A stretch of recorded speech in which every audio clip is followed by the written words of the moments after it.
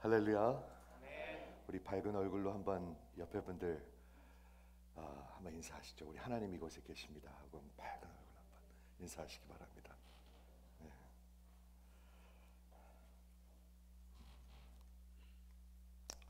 오늘 아, 우리 교회 주신 하나님의 말씀의 제목은 스스로 속이지 말라. 하나님은 업신 여김을 받지 아니하시나니 라는 제목입니다.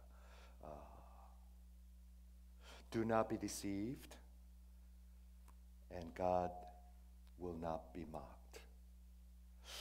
여러분 아십니까? 아, 하나님은 결코 업신여김을 받지 아니하십니다. 가만히 한번 생각해 보시기 바랍니다. 하나님은 그렇게 만만한 상대가 아닙니다, 여러분. 호락호락한 상대가 아닙니다. 우리는 보통 그냥 보통 그냥 넘어가죠. 우리 인간들은요. 자신에 대해서 굉장히 generous합니다. 인간들은.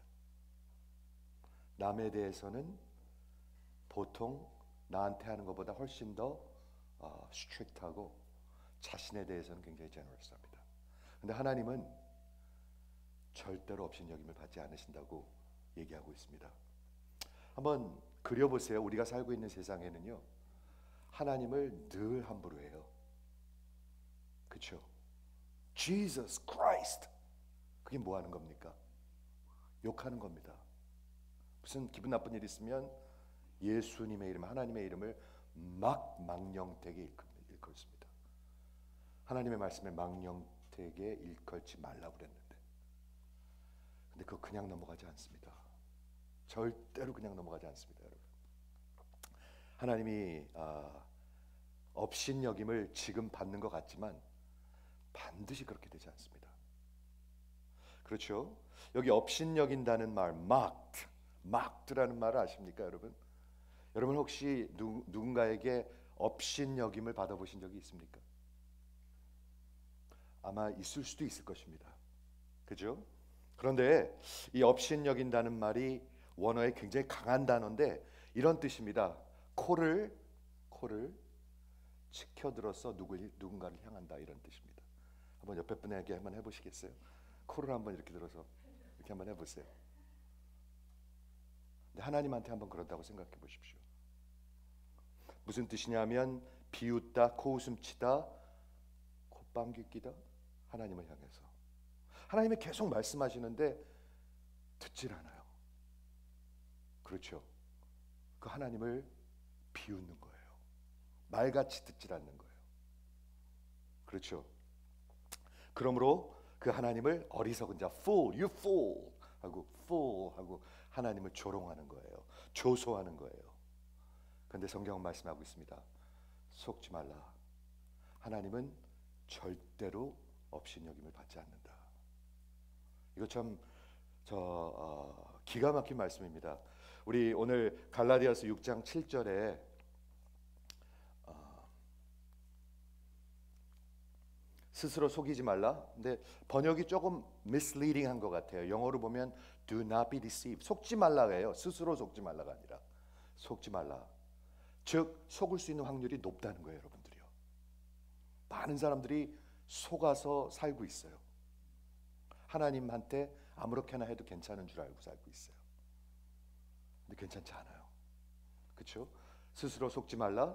하나님은 업신 여김을 받지 아니하나니 사람이 무엇이든지 심든지 그대로 거두리라. 저희 아버님께서 아, 30년 전에 돌아가셨어요. 30년 전에 젊어서 돌아가셨는데 저한테 늘 하시던 말씀 중에 두 개가 생각나요. 하나는 뭐냐면 늘 목회자한테 함부로 하지 말라고 그랬어요. 그렇게 가르쳐 줬어요. 우리 우리 부모님이. 막 대적하지 말고 함부로 하지 말라. 그걸 가르쳐 줬어요. 또 하나는 뭘 가르쳐 줬냐면 늘 이걸 가르쳐 줬어요. 민철아 반드시 인생에 심는 대로 거두게 된다. 이걸 가르쳐 주셨어요. 계속 말씀을 하셨어요. 그래서 제 마음속에 그게 박혀 있어요. 너 심는 대로 거두게 되는 것이다. 심는 대로 거두게 되는 것이다. 그게 근데 어떤 좋은 격언이 아니고 하나님의 진리예요. 이것은 심는 것을 거두는 것, sowing and reaping. 하나님의 변치 아니하는 변할 수 없는 하나님의 질서와 지속성의 법이에요. 이해가 되십니까? 예를 들어 볼게요. 농부가 추수하기를 원합니다. 그러면 어떻게 해야 되죠? 반드시 심어야 합니다. 자기가 심어야 합니다. 어디다가 자기 밭에다 심어야 합니다. 아무데나 어, 아무거나 추수하면 안 되잖아요. 그건 도둑질이잖아요.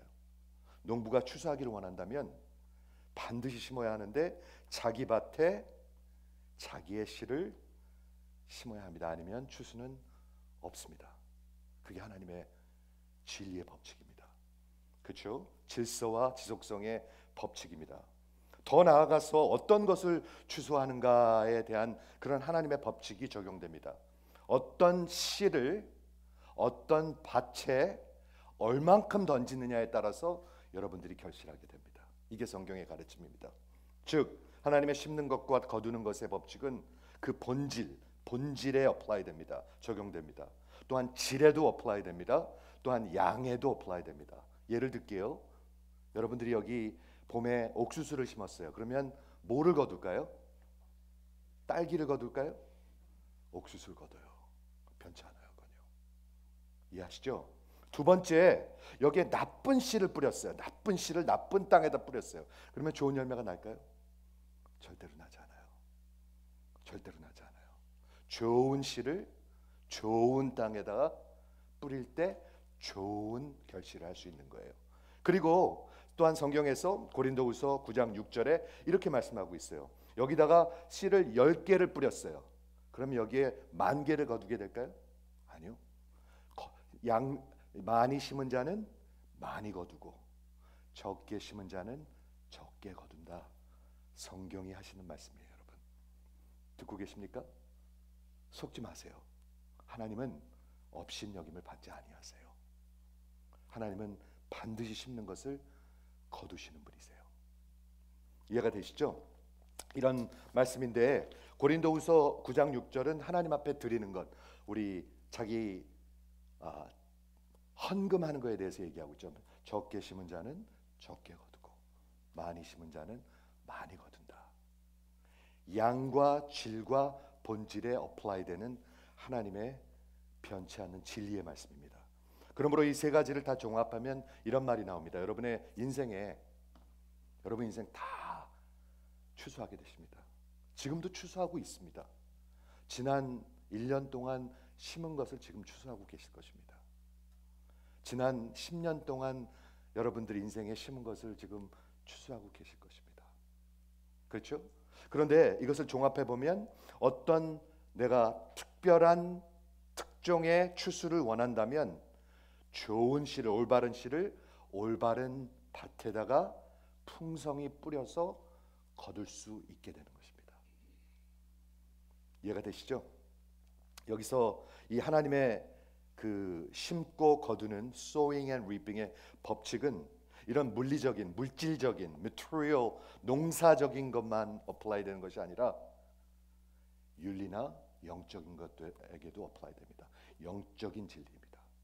윤리적인 진리입니다. 성적으로 막 살아요.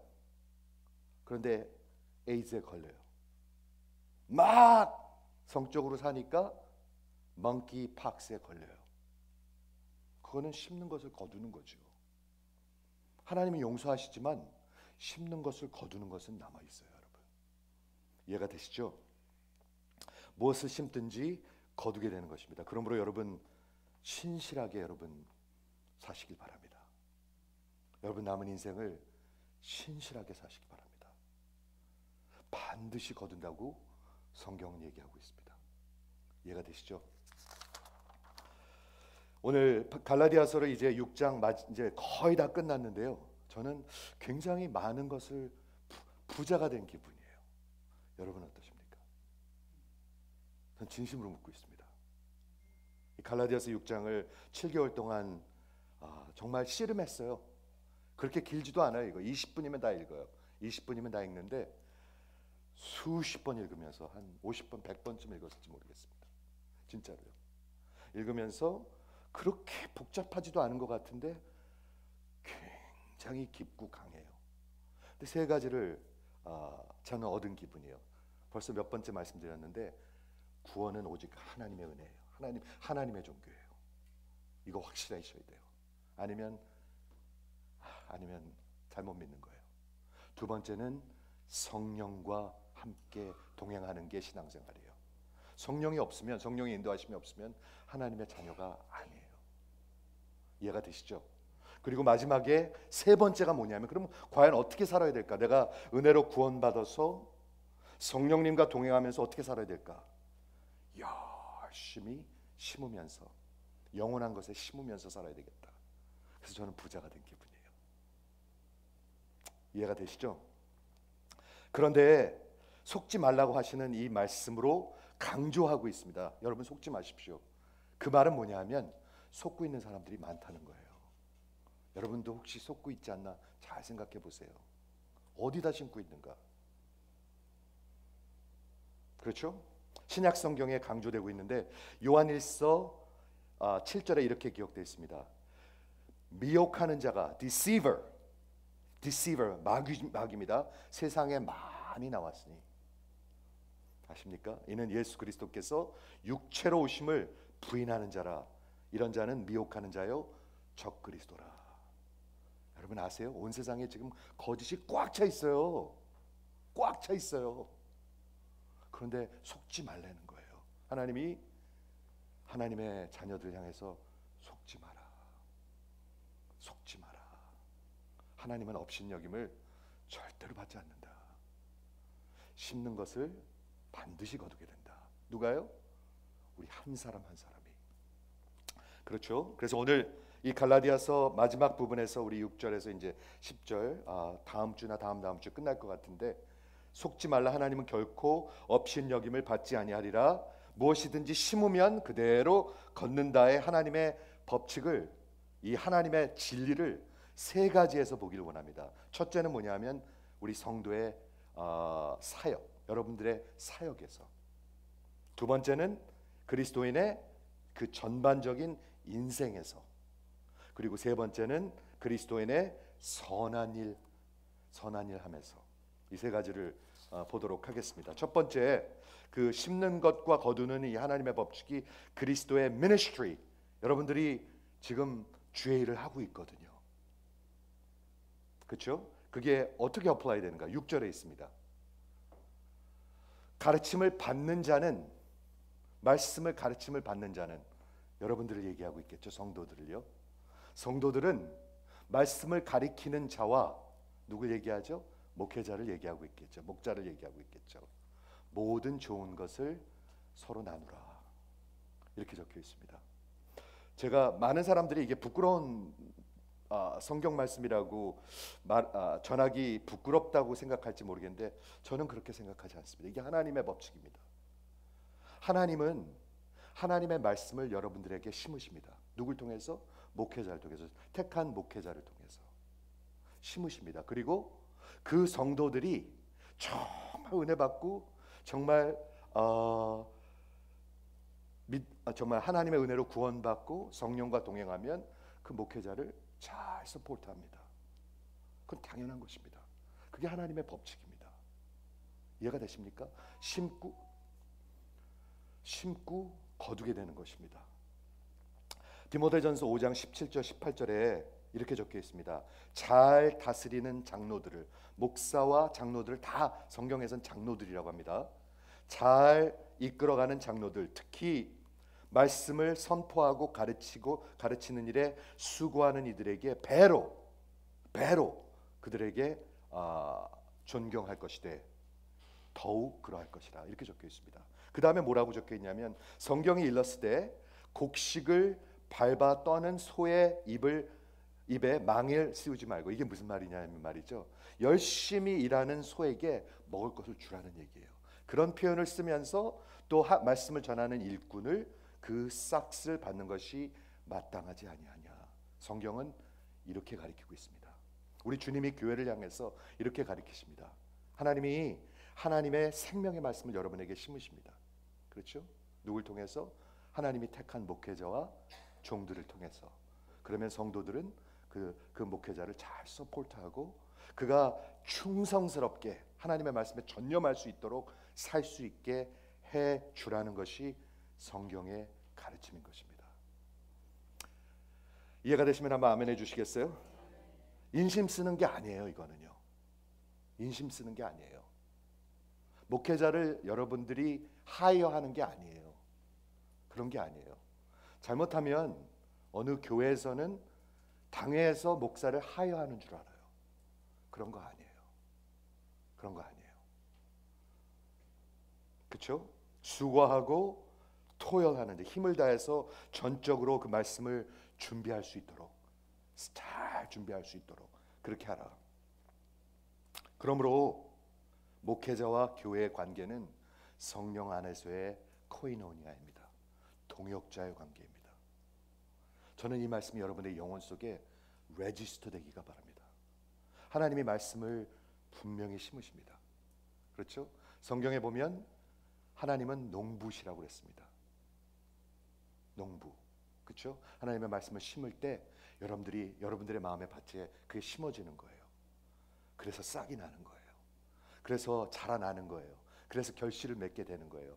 그래서 하나님을 알게 되는 거예요. 이해가 되시는 분 한번 아멘 해 주시겠어요? 저는 이런 말씀이 왜 적혀 있을까 생각해 봅니다. 그냥 교회의 어떤 법칙을 적어 놓은 것일까? 아닌 것 같아요. 이게 구원받고 성령의 사람들이 이렇게 마음을 먹는다는 거예요. 그렇죠? 제가 이만하고 넘어가겠습니다. 이거는 두 번째 심는 것과 거두는 하나님의 법칙이 여러분의 인생에 전반적으로 apply 됩니다. 한 사람도 여기서 벗어나지 않습니다.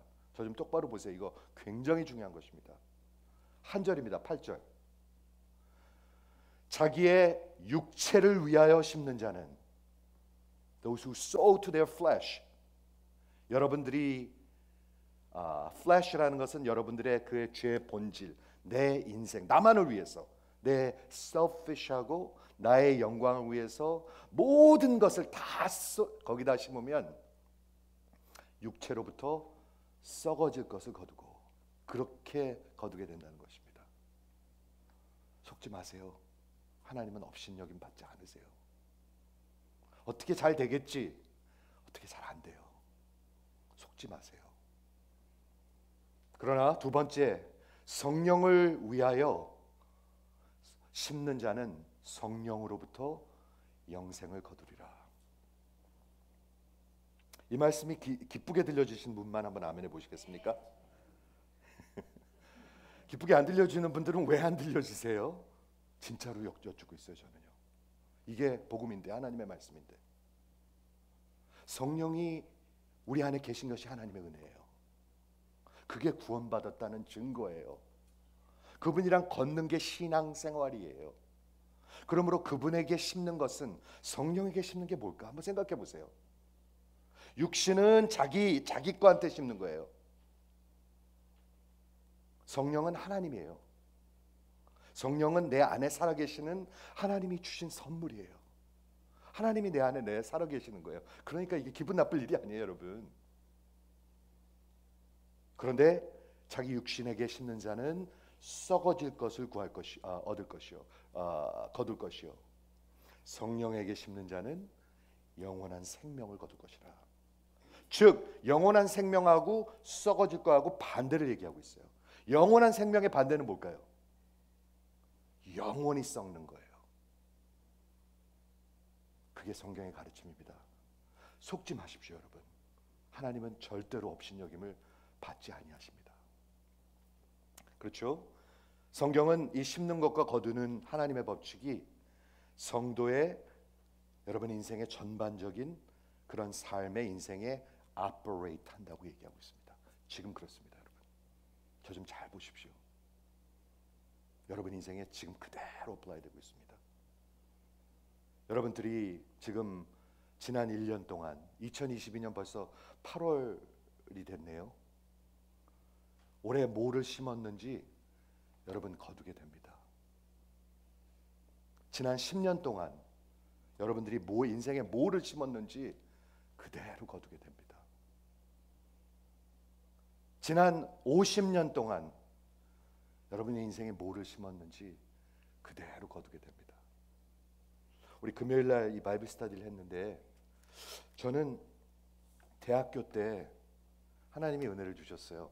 대학교 때 하나님을 만났는데 그때 제가 하나님께서 주신 마음이 뭐였냐면 내가 썩지 아니할 것에 내 인생을 심으리라 걸리라 그렇게 해가지고요 사람들을 제자 훈련하는 것을 대학교 때부터 시작했습니다.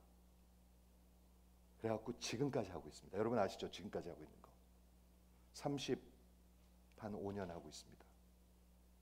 여러분 자랑하려고 하는 게 아닙니다. 이건 그 아무것도 아닙니다. 내가 한 일.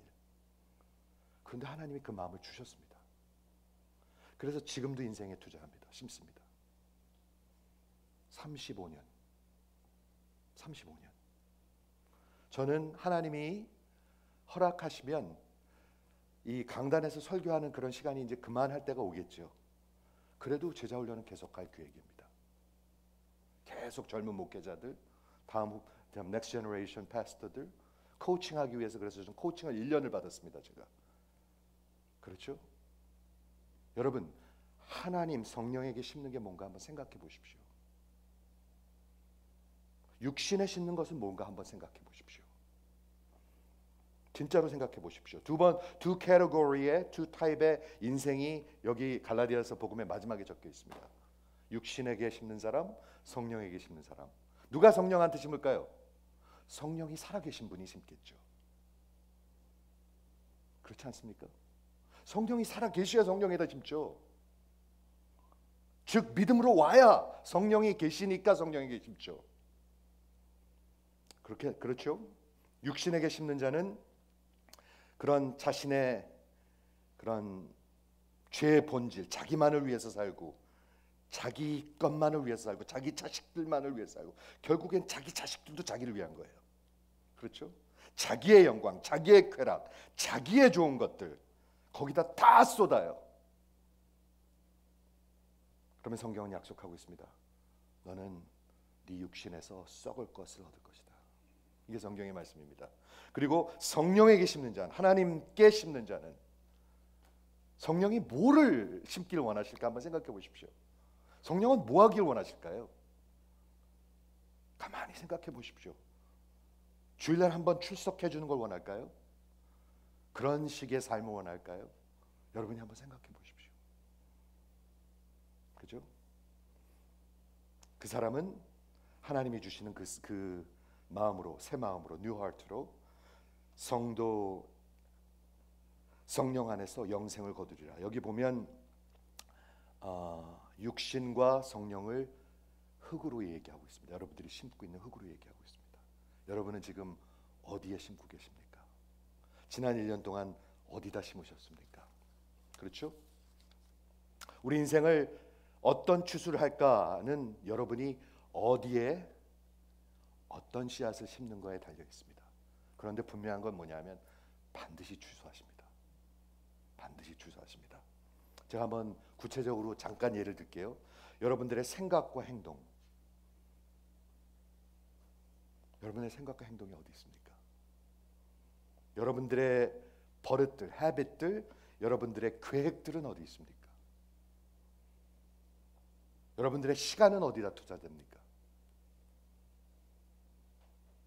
여러분들의 돈은 어디다 투자됩니까? 어디 어디다 쓰십니까?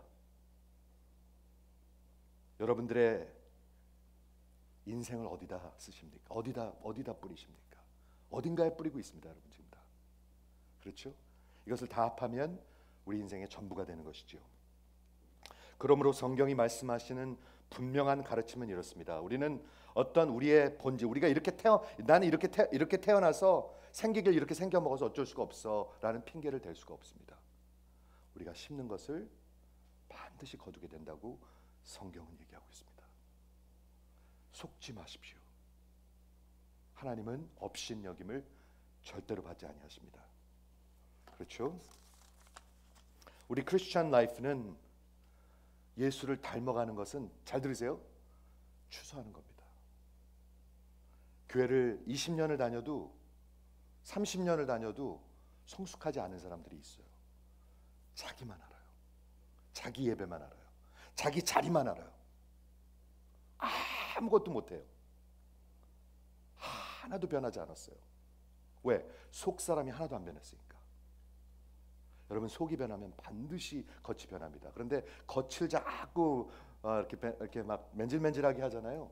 그리고 속은 변하지 않잖아요. 그러면 추해집니다. 추해집니다. 이해가 되시죠? 성경은 하나님의 말씀이 씨, 씨라고 얘기하고 있습니다. 하나님은 농부이십니다, 여러분. 여러분에게 심으셨습니다. 심으셨습니다. 근데 그게 여러분들이 어떤 밭이냐에 따라서 어떤 열매가 나오는지 나오고 있는 거죠. 그렇죠. 음. 마지막 이 심고 거두는 하나님의 법칙은 우리 크리스천들이 선한 일을 하는 거에 적용됩니다. 우리 갈라디아서에서 계속 말씀하는데 우리가 선한 일을 해서 구원을 받는 게 아니지만 구원받은 사람은 반드시 선한 일을 합니다. 다시 한번 얘기할게요. 헷갈려하는 분들이 많기 때문에 우리가 착한 일을 해서 누구 돈 좀 주고 누구한테 봉사 좀 해주고 가끔 뭐 좀 하나 사주고 해서 구원받는 것은 절대로 아닙니다. 절대로 그거 갖고 되지 않습니다. 피쉬 잡은 거 몇 개 그 과부들한테 갖다 주고 그런 거로 절대로 되지 않습니다. 구원받는 것은 오직 하나님의 은혜입니다. 예수의 피입니다. 그런데 구원받은 사람은 반드시 새 마음을 가지고 new heart를 가지고 선한 일을 하고 싶어집니다. 그것을 위해서 부르심을 받은 것입니다. 이해가 되시죠? 그래서 9절과 10절이 그게 apply 되는데 우리가 선을 행하되 낙심하지 말고 포기하지 아니하면 때가 이름에 거두리라. 이 말씀이 저는 너무 힘이 돼요. 그러므로 우리는 기회 있는 대로 모든 이에게 착한 일을 하되 더욱 믿음의 가정, 교회를 얘기하고 있겠죠. 믿음의 가정에게 할지니라. 바울은 성도들에게 인내할 것을 격려합니다. 낙심하지 말라. 포기하지 말라. 지난주에 제가 말씀드렸습니다. 제가 목회를 처음에 이세 목회를 하는데 15년 동안 하는 말이죠. 제가 뭐 하면 열심히 하는 성품인데 아시잖아요. 진짜 다 붙는데. 근데 한참 가다가 보면 아무것도 없어요. 그런 기분이었어요. 15년 동안. 제가 지난주에도 나눴잖아요. 아무리 갖다 보아도 밑 빠진 독 같았어요. 아무것도 보이질 않아요. 저 사람들이 나를 밖에서 보면 아는 척이나 할까 하는 느낌이에요. 여러분 그 기분 아십니까? 저 사람들이 한 1년쯤 있다 나를 만 어디서 만나면 나를 아는 척이나 할까 하는 느낌이 많이 들었어요. 15년 동안. 근데 지금 그러고 한 10년이 더 흘렀네요. 그런데 지금 그렇게 느끼지 않아요. 근데 저는 하나님한테 감사하는 건 뭐냐면 그 15년 동안 포기하지 않았어요. 25년 동안도 포기하지 않았어요. 지금 하나님 은혜 주시면 끝까지 포기하지 않을 작정이에요, 저는요. 포기하지 아니하면 그리고 낙심하지 아니하면 때가 되면 반드시 거두리라. 지금 우리가 걷고 있어요. 어저께 우리 여기서 결혼식 있는 거 아시죠? 인도계 여, 아, 신부하고 일본 의사하고 같이 결혼했는데 1년 전에 여기 예수를 전혀 모르는 같이 동거하는 남, 남자 여자가 들어왔었어요. 전혀 몰라요 예수님을. 그런데 친구들이 보니까 너무 달라가지고 온, 온 거예요. 전도는 그렇게 돼야 돼요. 이 의사 친구가 있는데 우리 교회 다른 의사가 있는데 이 친구가 너무 다른 거야 뭐가. 이게 도대체 뭐야 이거. 그래갖고 와본 거예요 그 1년 전에 왔는데 그 똑똑한 친구들이 제가 하는 설교가 그렇게 어렵지 않지 않습니까? 그렇죠? 근데 너무 어려워가지고 한마디도 못 알아듣겠대요. 도대체 저, 저 사람이 무슨 말을 하는 건가? 그리고 앉아 있는데 그 아, 신부가 인도계 트리니다드 사람인데 아, 그 신부가 하나님한테 그냥 그냥 구했대요. 하나님, 나도 하나님의 말씀 좀 알아듣게 해 주십시오. 좀 알아듣게 해 주십시오. 하나님의 말씀 좀 진짜로 알아듣게 해주십시오 하고 막 기도를 했대요. 이 친구들이 얼마나 예, 기독교를 모르냐 하면 성경을 읽기 시작했는데 창세기 읽고 출애굽기 아, 와가지고 어, 그, 그 의사가 묻더래요. 도대체 예수님 언제 나타나냐고 출애굽기인데 아직 안 나타났다고. 진짜로 진짜로 물은 거예요 이거는요. 그 정도로 예수 이 기독교 이런 걸 모르는 사람들이에요. 그런데 하나님 좀 하나님 말씀 알게 해 주십시오, 알게 해 주십시오 하는데 어느 날 말씀을 듣고 있는데 여러분 같이 지금 안 듣고 있는데 너무 이상하더래. 갑자기 파스터 포 말씀하는 게 너무 쉽게 들리더래. 너무 알아듣겠더래. 그래가지고 옆에 있는 세라한테 물어봤더니 누구한테 물어봤대 세라 목사님이 설교를 좀 쉽게 하시 오늘 그랬더니 아니 전혀 않았다 그리고 예수를 믿고 어저께 세례를 받았어요 결혼식에서요. 저 결혼식에서 세례 한 적 한 번도 없어요. 그런데 뭔가를 이렇게 드러내려고 한 게 아니에요. 거기 예수를 믿지 않는 일본 사람들 많이 오고 인, 저기 인도 사람들 많이 오는데 그 세례 예수 믿는 거 예수님과 하나 되는 거 연합하는 것 부활과 그 죽으심에 연합하는 걸 설명하고 싶어서 어저께 세례를 줬어요. 결혼식 하기 전에 결혼식보다 더 중요한 게 있습니다. 이 친구들이 이제는 예수를 따라가는 예수, 예수님의 제자들입니다. 하고 온 세상에다 선포하는 거예요.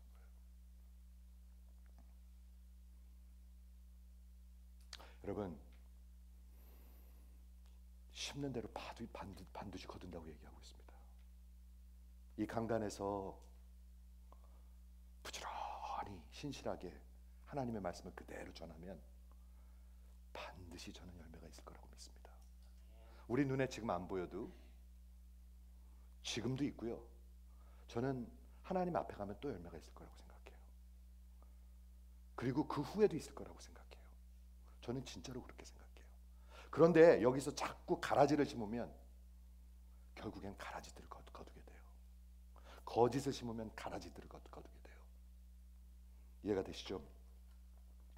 분명한 것은 인내합니다. 왜 인내해야 합니까? 하나님의 사역은 하나님의 일은 늘 어렵고 늘 아, 그런 핍박이 있고 늘 oppose 하는 사람들이 있고 마귀가 있잖아요.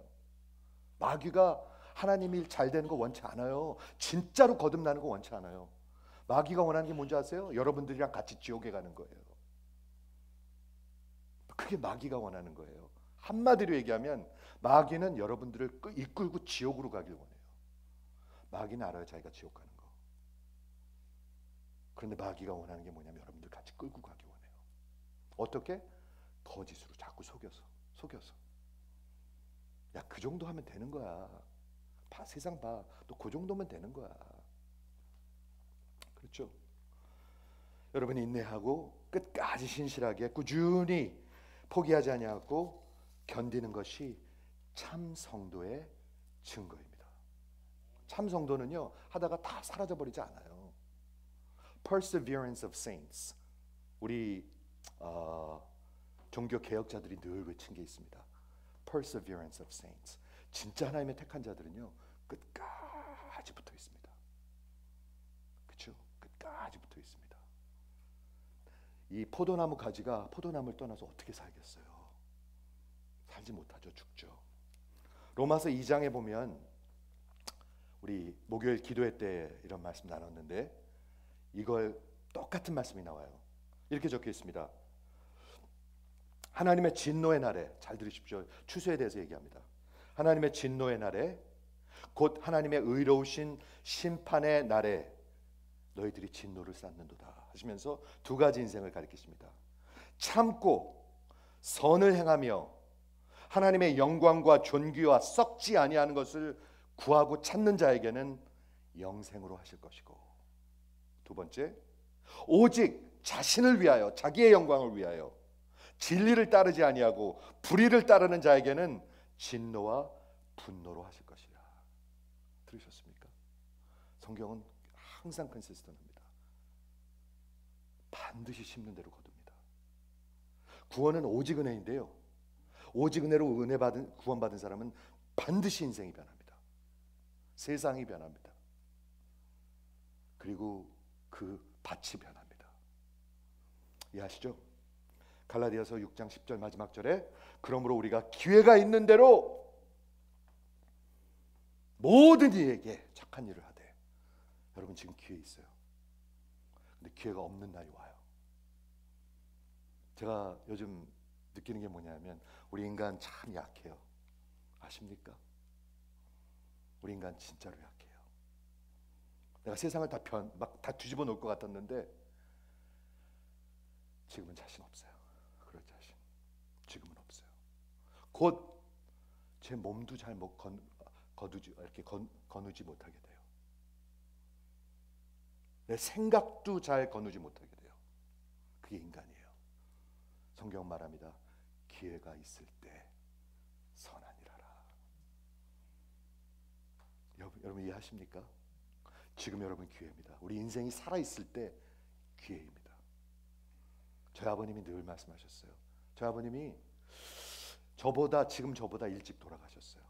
참 지금 생각하면 아, 그런 생각이 드는데 저한테 늘 기분 나쁘라고 말한 것도 아니고 기분 좋으라고 말한 것도 아니에요. 제 기억에는 아들아 심는 대로 거두게 된다. 심는 대로 거두게 된다. 하나님의 종한테 함부로 하지 마라. 그리고 무릎 꿇으라. 늘 가르치셨어요 저한테. 늘 가르치셨어요.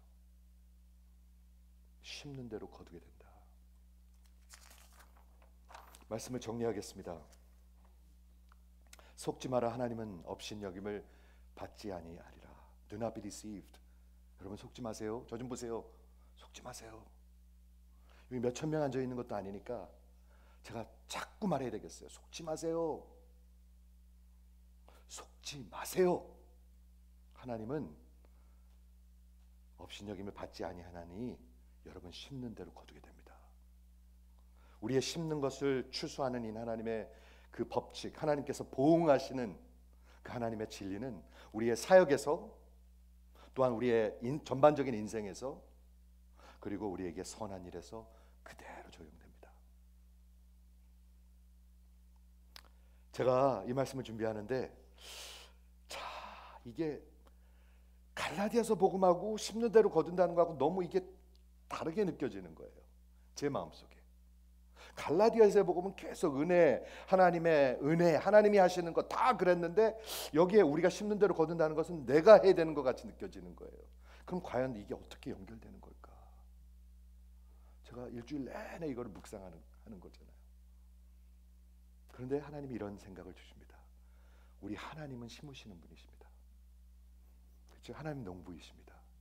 그리고 하나님은 심으셨네요. 누굴 심으셨어요? 예수를 심으셨네요. 예수님이 요한복음 12장에서 이렇게 말씀하셨습니다. 하늘의 미랄이 땅에 떨어져 썩지 아니하면 하늘 그대로 있고 하늘의 미랄이 땅에 떨어져 썩으면 죽으면 많은 열매를 맺으리라. 예수님을 하나님께서 십자가에다 심으셨네요. 거기다 심으셨네요. 그게 이해가 되는 거예요. 그게 은혜가 되는 거예요. 하나님이 심어 주셨으니까 내가 살아 있는 거예요. 이해하십니까? 그리고 그 예수님이 이 땅에 오셔서 이렇게 말씀하셨습니다. 잘 들어보십시오. 예수님의 말씀입니다, 여러분. 여러분을 살리기 위해서 하시는 말씀입니다. 손에 키를 들고 칼을 들고 손에 칼을 들고 winnowing fork 자기의 타작 마당을 정하게 하사 알곡은 곡간에 모아드리고 쭉정이는 꺼지지 않는 불에 태우시리라. 우리 주님이 하시는 말씀이에요, 여러분. 추수하는 걸 얘기하고 있죠. 예수님이 심으셨, 하나님이 심으셨고요. 하나님이 추수하는 때가 있어요. 속지 마세요, 여러분. 하나님이 키를 들고 손에 키를 들고 천사들이 든다고 그랬죠. 타작마당에서 둘로 딱 나눠요. 어떻게 해요? 알곡은 his wheat 하늘의 밀알은 땅에 떨어져 그, 그 밀입니다. 알곡은 곡간에 모으고 쭉정이는 꺼지지 아니하는 불에 태우시리라. 꺼지지 않는 불에 태우시리라. 여러분 속지 마십시오. 하나님은 절대로 업신여김 받지 아니십니다. 여러분의 인생에 심는 것을 여러분은 반드시 거두시게 됩니다. 기도하겠습니다.